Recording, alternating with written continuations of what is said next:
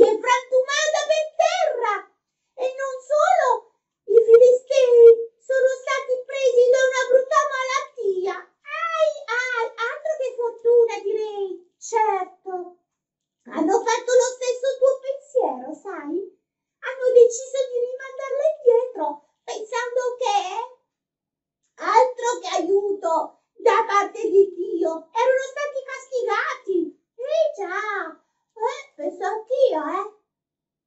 Così dopo hanno messo l'arca su un carro trainato da due mucche e l'hanno fatta andare via. E l'arca è arrivata dritto dritto a casa sua. Ah, sì? E dove? Dagli ebrei, no? Hanno fatto una gran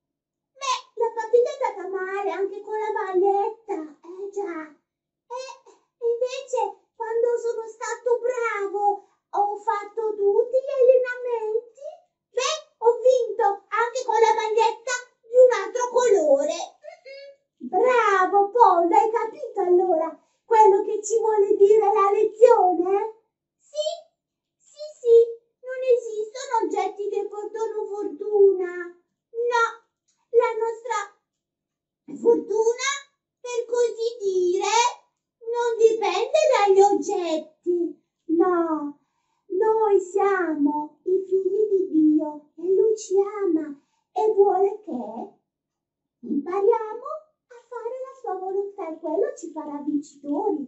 È vero, ti do ragione Marilu.